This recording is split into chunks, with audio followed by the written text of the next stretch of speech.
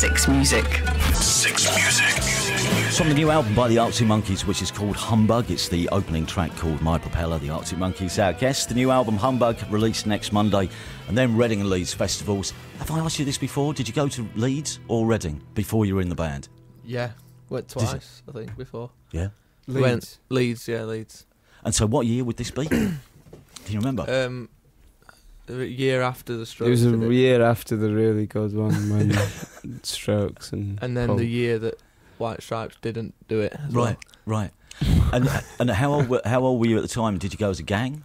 Yeah, we went about fifteen or sixteen, Yeah, and we went. Yeah, there were quite a lot of us actually. Minibus, yeah. that kind of thing. Big uh, tent compound. I was going to say, did you have to park your tents in, yeah, a, cer- in some sort of of circular circle? thing. Yeah. Yeah. And any, right. so, if uh, White Stripes didn't play, anyone who was any good? Can you remember? I remember really enjoying Supergrass in that first one that we went to. I think Oh, they right. like headlined Radio One Yeah, oh, right. ten, and it was like quite good. That were that were Did. Black Rebel play that year? Yeah, they as did instead of what? Well, no, they didn't do it. They like play. I remember playing a White Stripes song, well? as Yeah. a little That's bit of a tribute. Yeah. That was good. Uh, were you uh, when you started going to see bands? Do you think you were, you know, consciously or maybe subconsciously already sort of taking in what bands do on stage and the way they perform? I don't know. I think probably then, yeah, probably because I was just starting to play drums, so probably I'd just watched drummers quite a lot, Yeah. and yeah, I reckon I did. Still do. Yeah.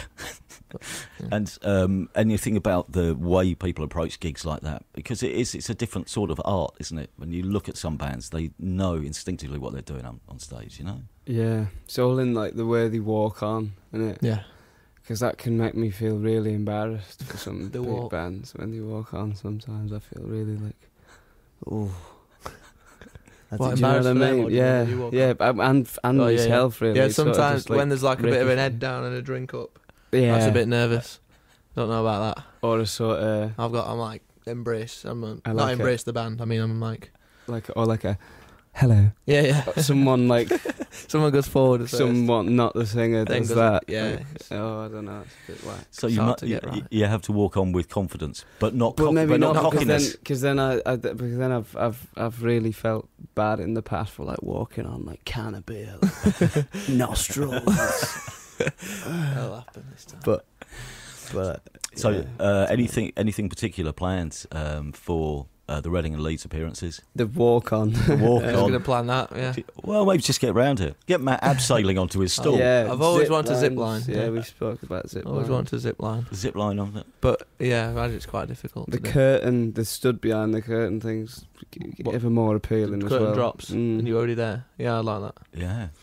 That's good. Yeah, I mean, it- because it is, it must be a weird moment, isn't it? Um, just before you go on stage Yeah. at a festival, there's all the well wishes. I mean, having stood side of stage at Reading when I was DJing and comparing, I mean, you see bands come up. Some bands have got rather elaborate sort of group hugs and Before, things they do that they do beforehand. Um, but it's just it must it must be that sort of nerve wracking moment because you know everyone's out there. You can probably picture it in your mind. yeah. Yeah, it's quite. It we don't strange. really do any of that There's like no- hug no. thing or sort of clear everyone out. It's more just like Wa- Yeah. We used to walk on in a certain order, but even we don't even, even do that that's anymore. been like yeah. But like Yeah. a football team. yeah, it's Yeah. like a, like yeah, we're like that. Like, Yeah. we're like a But then lineup. we do that. That got sort of outside at window. abolished. Before Glastonbury, I had a nightmare because I couldn't. I had a pair of white socks on 'cause I'd had Wellingtons on all day. Switched the wellies out for the Stage shoe. for the stage shoe, yeah, and um, and and of course, the stage shoe being black, there was a an awful juxtaposition with the white sock, and I was like, so that was a, a, a nail biting for the minute. It was took like, I need some black the- socks. Yeah, we need socks. I need a baraka Stage. and some black socks. Is it um, is it a case of having, particularly with I suppose the festivals, you know, this renewed vigor now that there are new songs to play as well? Does that give give you a- an extra, I don't know, kick when you're going out to play? Yeah, like even when we've just been like playing gigs that we've done so far, it's it's like we've been putting quite a few new ones in now, Yeah. and yeah, it makes it. It just makes it. It even makes old ones exciting again Yeah. when you're playing like within like quite a new set. Because you've been around doing a few festivals, haven't you? Selected Yeah. festivals, Czech Republic, I think you did. Yeah, we Yeah, One or we two places. We just we We just, just did got a back bit in well. Scandinavia just then. It's good with the new tunes in there as well because I think it sort of somehow reintroduces some uncertainty to the whole thing, you know. Whereas when we stopped playing, like the end of the year before last, or you sort of, to some degree, knew how you were going to go down because everybody knew all the Yeah. the records and you know what I mean. So there's there's yeah, I think with like this new thing that you might get a few scowls, which is quite exciting. Yeah.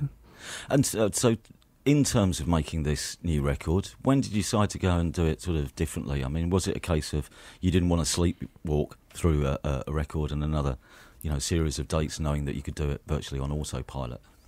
Did you sort of sit down and think, right, what are we going to do next? Yeah, well, I think the first thing was to sort of have a minute before we went back in. So we had like six months without really playing together, and then after that, yeah, we all we we kind of met up and started to yeah speak about what we wanted to do. But I think the one thing we found certainly I don't know we haven't reached that point yet where we could sort of draw a plan out. I think we we just had to sort of start really and start trying things out and whether they were blind alleys or not. I think we just that's seems like that's the way this band operates is to sort of just you know write and record and then chop and channel it into the finished record. So, had you started writing and then thought, you know, we should do this record with Josh from Queens of the Stone Age, or was that um, uh, an idea which had been around even before you set out in the writing process? That had been around. We sort of we played a couple of shows with them like the, the year before we like got together and started writing and that. And I think around that time we'd said, well, we, we'd kind of were one. We it crossed his mind like I wonder what it'd be like getting in the studio with him. And Did you have the conversation? Oh, I bet you won't do it. Yeah, well, let's ask him. Yeah, you it's ask like, him. and he's like, no, yeah, yeah, a bit like that, sort of. But then we like forgot about it, and then it was Lawrence, like from Domino, was like, oh, is that Josh Homme thing? So we must have must have got on a bit because he knew about it, and then Yeah. so we were like, oh yeah, uh, would you you still be interested in that? And I don't know, yeah. Then we were like, oh well, you know, yeah, if he is, like, but you ask him. I don't know. yeah, but you ask him. And so, uh, so it comes to. So when you, so you go to what? It's Josh's studio. Whereabouts is it? so we spoke to him on the phone, and it was all, and we got these demos, and he, we sent them to him, and. uh Oh no, it's like it's like waiting for exam results. You Yeah. send you send your music to him, waiting for the. Exactly. Has he called If yet? it'd have been a he no, would just have sort of like yeah to see that he's like I'm sure it's good and that but like Yeah. just, just, Just to check you know, what you send want it, to do. just, I just want to see like what page you're on so then we sent him these things and uh, I think it was like six tunes or something like Pretty Visitors from the album was on there and Dance Little Liar was the tune in fact that I think he heard and was like yeah you got to come to Rancho de la Luna in Joshua Tree so we did the first session with him, which was like a couple of weeks, and we did like one week out there in Joshua Tree, and the other week in in in Joshua's studio in Right. LA. And what was so? What was it like? I, you can see, I'm trying to. I've been to the. I've been to one of the deserts which is next to the Joshua. It's like the Joshua tree's neighbour. Um, once I was sent by the New Musical Express to interview James for a cover story, and they were recording a video there because apparently it never rains. We Oh. arrived, it rained. It rained for the Yeah. first time in five years or something. Yeah. Uh, which rather put the mockers on things. But so I know vaguely the area. But for you, what was it? What was it like being out there? If you can just describe it. It was good. It was like because when we we did that um, Coachella festival, and it's a similar drive, to, like from LA where you go. But this time we we drove out with Josh to there. He like kind of took us in his car for a bit of a bond on the way there. And Right. um, so but arriving there, yeah, we kind of we didn't really know what to expect. I didn't really even looked at any like pictures of it or anything, and not realizing what it was until we got there.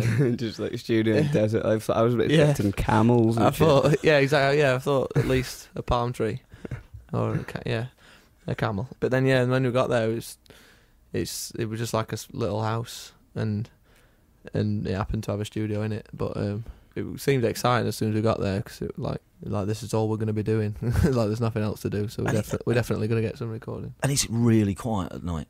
Yeah, Really quiet. and uh, weird lighting as well because it's because it's like moon, I didn't like any street lights or anything, so it's just it's Strangely, just at- different. yeah. strangely atmospheric. Yeah, it is. It's weird.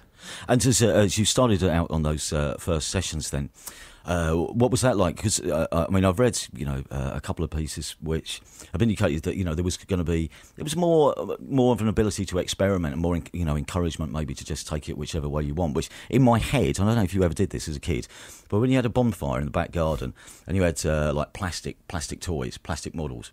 So, And uh, you throw one in the fire Mm. just to see what happens. When the Yeah. fire when the fire's burnt out, you go back and it's sort of melted slightly. yeah, That's Mm. what going to the desert and recording with Josh Homme does for your music. yeah, yeah. You know? It does. Yeah, Or, then, or like you've, or like you've you've left a dairy milk out in the sun. Yeah, and then re- then you put it in the fridge and it's reset in like a bit of a wonky order. that's that's the recording sessions in the desert. It's dairy milk in the desert. Yeah, And then dairy what comes milk out? in the then refrigerated. or uh, or the plastic soldier. It's a slightly more masculine analogy. Toy cars, soldiers. a bit. Like, like dairy milk, could you get any more like a, a softer Oh, I've got a Turkish Oh, delight. And I'm I've got a Caramac, right? yeah, probably a soldier then. Okay, Toy soldier. was it like that at all? Or was that rather fanciful? No, that's perfect. It's probably Steve, about yeah, right, yeah. Yeah. And um, and nerve wracking or just really enjoyable? Actually, Um, actually having yourself tested. No, I think I really enjoyed it. Yeah, yeah. like all of us seem to m- more than.